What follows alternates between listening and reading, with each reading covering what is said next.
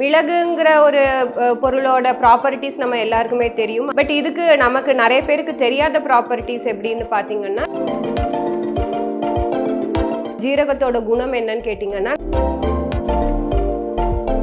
இந்த வெந்தயத்தை வந்து நம்ம நல்ல எல்லாருக்குமே தெரியும் ரொம்ப குளிர்ச்சியாக இது உடம்புக்கு அப்படின்னு சொல்லுவோம் நம்ம. பட் இதே ப்ராப்பர்ட்டிஸ் வந்து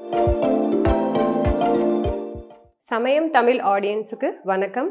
நான் doctor Tara Jayashree Aryavaidya Chikitsalayam and research இன்ஸ்டியூட்டில் கன்சல்டண்ட்டாக இருக்கேன். ஸோ இன்னைக்கு இந்த எபிசோடில் நம்ம பார்க்க போகிற விஷயம் என்னன்னு பார்த்தீங்கன்னா லைக் வீட்லேயே நம்ம செய்யக்கூடிய சில சின்ன சின்ன சிகிச்சை முறைகள்.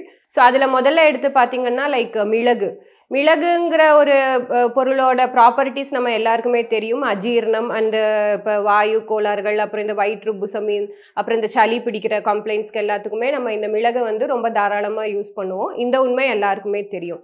பட் இதுக்கு நமக்கு நிறைய பேருக்கு தெரியாத ப்ராப்பர்ட்டிஸ் எப்படின்னு பார்த்தீங்கன்னா லைக் எந்த விதமான ஒரு விஷத்தன்மை அதாவது நம்ம உடம்புல இருக்கிற அந்த பாய்சனஸ் இஃபெக்டையுமே முறிக்கிறதுக்கு இந்த மிளகுக்கு வந்து ஒரு குவாலிட்டி இருக்குது ஸோ இதுலேயே நிறைய டைப்ஸ் இருக்கு. Like red pepper green pepper இருக்குது பிளாக் பெப்பர் இருக்குது பெல் பெப்பர் இருக்குது ஸோ எல்லாவோட uh, இந்த மிளகு தன்மையுமே ஒரே மாதிரி தான் இருக்கும். அண்ட் முக்கியமாக தோஷங்களில் பார்த்தீங்கன்னா வாதம் அண்ட் கஃபத்தை வந்து கம்மி பண்ணுற மாதிரியும் பித்தத்தை வந்து இன்க்ரீஸ் பண்ணுற மாதிரியும் இருக்கும். அதனாலேயே பார்த்தீங்கன்னா இந்த பித்தம் அதிகமாக இருக்கிற உடம்பு கான்ஸ்டியூஷன் இருக்கிறவங்களுக்கு மிளகை வந்து கம்மியாக தான் யூஸ் பண்ண சொல்லுவாங்க. அண்ட் இன்னொரு ஒரு விஷயம் என்னன்னு பார்த்தீங்கன்னா லைக் மெயினாக மூல பிரச்சனை like bleeding piles or not non bleeding piles இந்த மாதிரி கண்டிஷன்ஸ்க்கெல்லாம் மிளகோட கஷாயம் வந்து ரொம்ப பரவலாக குடிப்பாங்க. அண்ட் ஹைப்பர் அசிடிட்டிங்கிற ஒரு சிம்டம்ஸ்க்குமே வந்து இந்த மிளகோட கஷாயம் வந்து ரொம்ப காமனாக யூஸ் பண்ணுறது உண்டு. அடுத்தது பார்த்தீங்கன்னா இந்த ஜீரகம். ஜீரகத்தோட பேர்லேயே நமக்கு அது ரொம்ப அதோட சினானிம் இருக்குது அதோட அர்த்தம் இருக்குது சீர் ப்ளஸ் அகம்னு சொல்லுவாங்க. ஸோ அகத்தை வந்து சீராக வச்சுக்கிறதுக்கு ஒரு முக்கியமான ஒரு பொருளாக வந்து நம்ம ஜீரகத்தை யூஸ் பண்ணுவோம். ஸோ இதுவுமே நம்ம ரொம்ப காமனாக வந்து பார்த்திங்கன்னா லைக் வயிற்று பொறுமல் கேஸ் ப்ளோட்டட்னஸ் அப்புறம் இந்த எரிச்சல் இந்த மாதிரி விஷயங்களுக்கு நம்ம காமனாக யூஸ் பண்ணுறது உண்டு. பட் இதுக்கு அப்பாற்பட்ட ஒரு ஜீரகத்தோட குணம் என்னன்னு கேட்டிங்கன்னா நல்ல தூக்கம் வரும். ஸோ முக்கியமாக வந்து தூக்க பிரச்சனையிலேருந்து அவதிப்படுறவங்க எல்லாருமே வந்து ராத்திரி கொஞ்சம் இந்த ஜீரகத்தை வறுத்துட்டு கஷாயம் மாதிரி போட்டு குடிக்கும்போது இந்த தூக்கத்தோட ப்ராப்ளம்ஸ் வந்து கம்மியாகிறதுக்கான வாய்ப்புகள் இருக்குது அண்ட் மோரோவர் ஜீரகத்தை வந்து நம்ம நிறைய தோல் வியாதிகளுக்கும் இது வந்து நம்ம காமனாக யூஸ் பண்ணுறது உண்டு. அடுத்து அதோடதே வெரைட்டிஸ் பார்த்தீங்கன்னா இந்த சோம்பு. இந்த ஹைப்பர் அசிடிட்டி கண்டிஷன்ஸ்க்கெல்லாம் முன்னாடி நாள் நைட் ஒரு ரெண்டு ஸ்பூன் சோம்பை வந்து கொஞ்சம் தண்ணியில் போட்டு ஊற வச்சு நம்ம குடிக்கிறது மூலியமாக இந்த ஹைப்பர் அசிடிட்டி அப்புறம் இந்த புளிச்ச ஏப்பம் வர்றது இதெல்லாமே கம்மியாகலாம். அடுத்த வெரைட்டி பார்த்தீங்கன்னா இந்த ஓமம். இது ஒரு ரொம்ப ஒண்டர்ஃபுல்லான மெடிசன் இது ஒரு நிறைய ஆன்டிஹெல்மெண்டிக் ப்ராப்பர்ட்டிஸ் இருக்குது அதாவது உடம்புல இருக்கிற இந்த கிருமிகள் எல்லாமே வெளியேற்றுறதுக்கான ப்ராப்பர்ட்டிஸ் இதில் இருக்குது அண்ட் முக்கியமாக அட்ரிகேரியான்ற ஒரு கண்டிஷன் லைக் நம்ம சான்ஸ்கிரிட்டில் வந்து அது ஷீட்ட பித்தம்னு சொல்லுவோம். லைக் எப்படின்னு பார்த்தீங்கன்னா அங்கங்கே தடிச்சிரும்.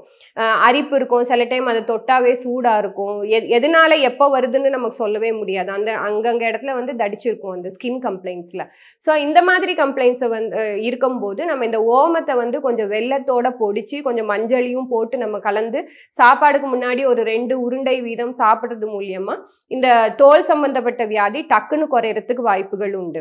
அடுத்த ட்ரக் என்னன்னு பார்த்தீங்கன்னா லைக் வெந்தயம். இந்த வெந்தயத்தை வந்து நம்ம எல்லாருக்கும் எல்லாருக்குமே தெரியும் ரொம்ப குளிர்ச்சியாக இது உடம்புக்கு அப்படின்னு சொல்லுவோம் நம்ம. பட் இதே ப்ராப்பர்ட்டிஸ் வந்து வெந்தய கீரைக்குமே இருக்கு. வெந்தய கீரை வந்து அதிகமாக சேர்ப்பது மூலியமா நம்ம உடம்புல இருக்கிற அந்த தோஷங்கள் எல்லாம் பித்த சம்பந்தப்பட்ட வியாதிகளும் குறையும். அது மட்டும் இல்லாமல் இருமல் இருமலுக்குமே இந்த வெந்தயக்கீரை நம்ம எப்பயுமே ரெகுலராக weekly two or three days use பண்ணுறது மூலியமா இருமல்ல இருந்து நல்ல குறைவு கிடைக்கும். அது மட்டும் இல்லாமல் இந்த நாக்கோட தடிமன் அதாவது மரத்து போகிறதுன்னு சொல்லுவாங்க லைக் ஃபேஷியல் ரிலேட்டட் இந்த நாக்கோட ஒரு நம்னஸ் இருக்கிற கிளினிக்கல் கண்டிஷன்ஸ்க்கு வந்து இந்த வெந்தயக்கீரை வந்து ரொம்ப காமனாக யூஸ் பண்ணுவாங்க. அண்ட் வெந்தயத்தோட விதை அதாவது அந்த கெர்னல்ஸ் ஆஃப் ஃபெனுக்ரிக்கு வந்து நம்ம யூஸ் பண்ணும்போது நம்ம அகைன் அது ஒரு கூலிங் ப்ராப்பர்ட்டி இருக்குது பட் அது மட்டும் இல்லாமல் நம்ம இந்த லைக் பஸ்ஸு டிஸ்சார்ஜாக இருக்கிற கட்டிகள் அதாவது பாயில்ஸுக்கு வந்து இதை நம்ம யூஸ் பண்ணுவோம். வெந்தயத்தை நல்லா பத்தா அரைச்சி நம்ம அதுக்கு ஒரு பேஸ்ட் மாதிரி அப்ளை பண்ணும்போது இந்த சூடு கொப்பளம் வந்து தன்னா தனி கம்மியாகிறதுக்கு வாய்ப்புகள் இருக்குது ஸோ இன்றைக்கி நம்ம இத்தனை நான் மேல் மேலே சொன்ன எல்லா ட்ரக்ஸுமே வந்து நம்ம காமனாக இல்லாத குவாலிட்டிஸ் இல்லாமல் மற்ற ஸ்பெஷலான சில கண்டிஷன்ஸ்க்கு என்னென்ன யூஸ் பண்ணலாம் எப்படி யூஸ் பண்ணலான்னு பார்த்தோம். தேங்க்யூ